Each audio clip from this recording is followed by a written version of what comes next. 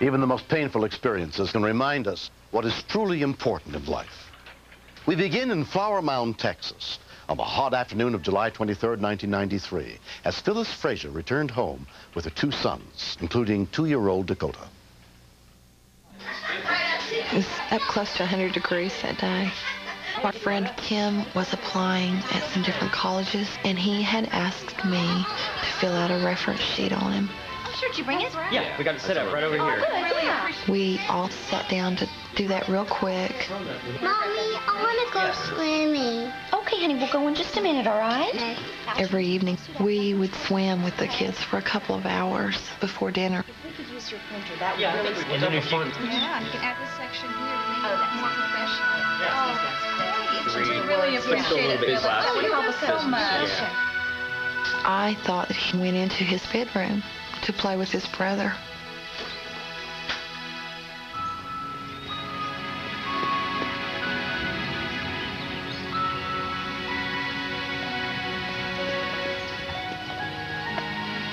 There was no concern at first.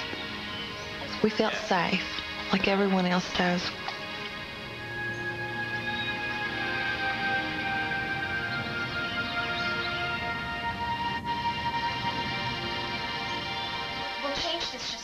He was gone a couple minutes before I missed him. Maybe shorten it just a little That's when I asked Jay to please see if he could find him. Dakota? Mom!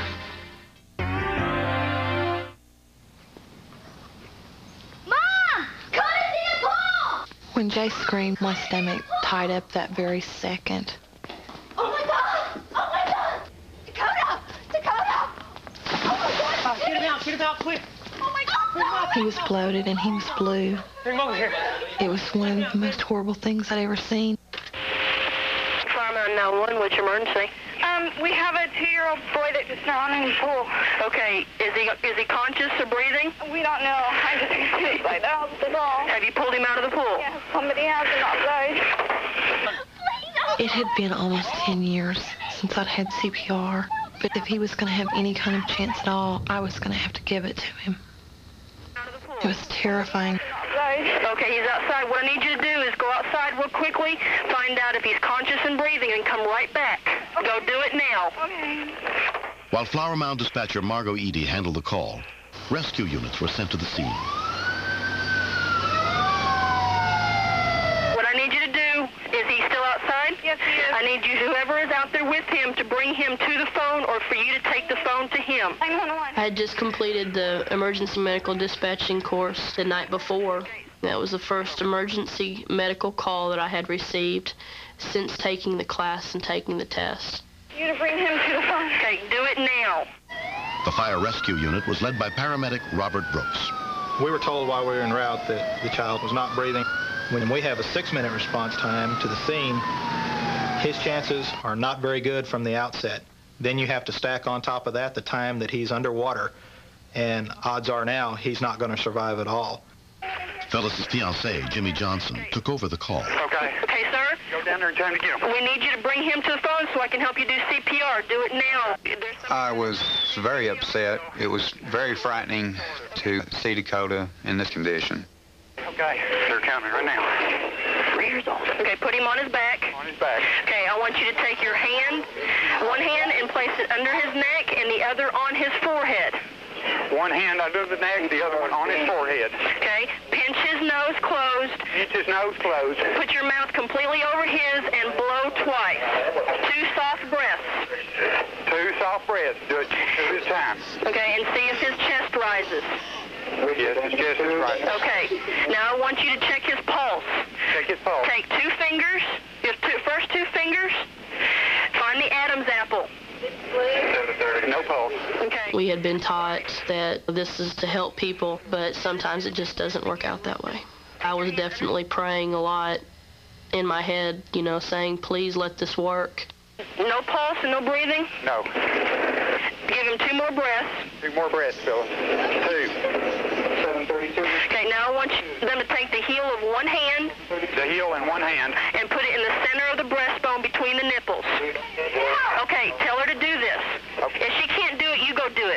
I I was in class, they told us to be very forceful but yet understanding with them to make them do what's needed to be done. I want you to push down five times one and a half inches. That's what she's doing. Okay, do it five times. Count for her five times. I wasn't giving him a second chance of life. I was hanging on to the one he already had. And just keep repeating it. It was very difficult for me to work on Dakota. Okay, now start a cycle of one breath, then pump five times. My next step was just to keep encouraging them so they have a strength to draw from and they don't stop.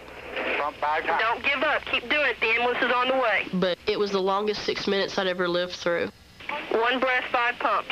One breath, five pumps.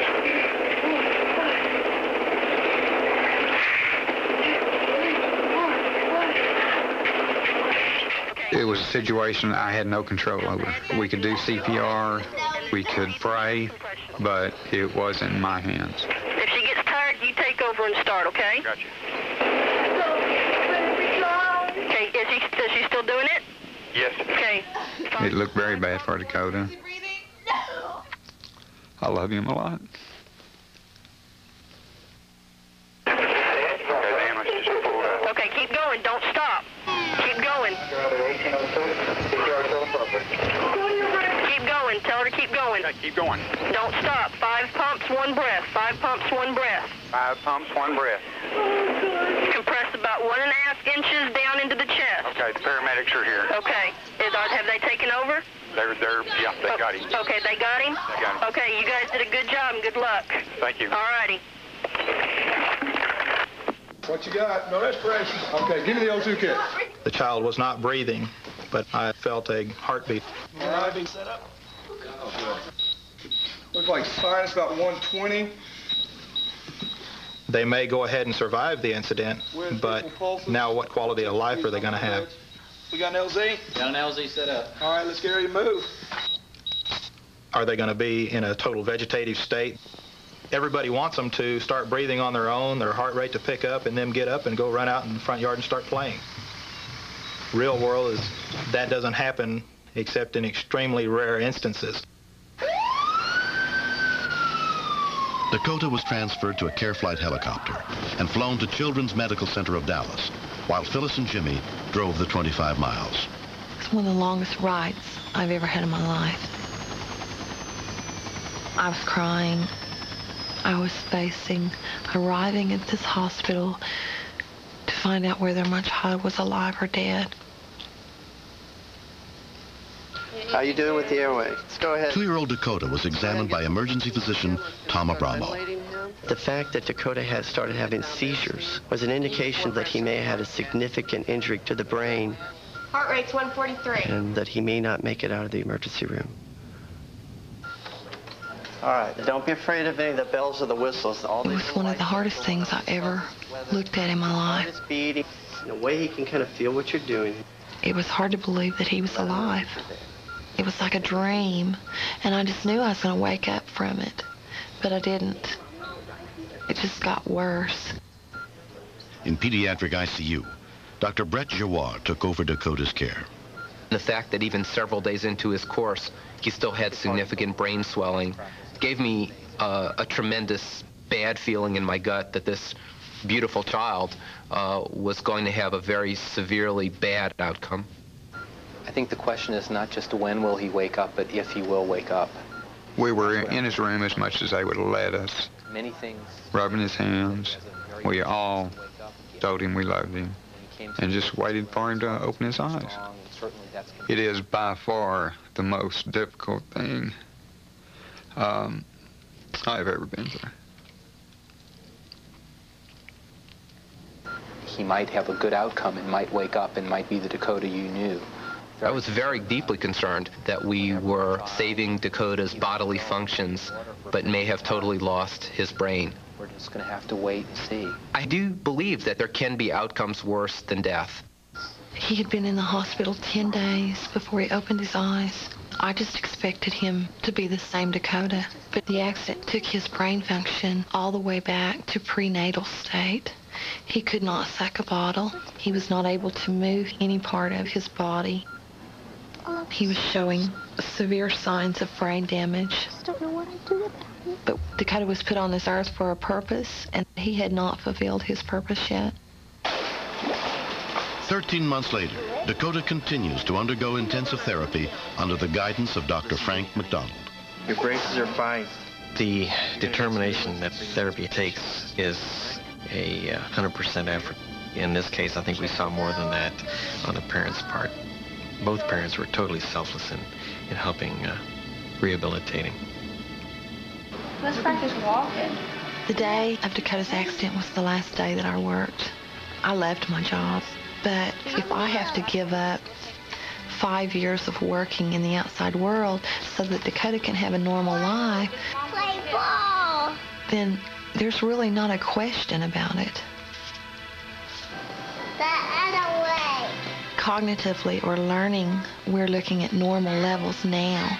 But he's about 14 months old in motor skills. But I know that he's going to get there. He's determined, and I'm determined. Rolled over. I love my mommy. I'm doing fine. I like therapy. Did you kick it? He is a very gutsy little guy. It's amazing how far he's come. From a child who couldn't lift his head off the mattress a year later to walking with a walker and help. It's, uh, it's amazing. I'm an astronaut. Yeah, you're an astronaut. The initial five minutes, 10 minutes are very critical to a patient's recovery. Look over there. See? He is alive today because of the adequacy of resuscitation at the scene. Here, climb up here on the bench. I think there is certainly hope that he will be a totally normal child. But maybe he won't ever be a normal child in the sense of what we think is normal.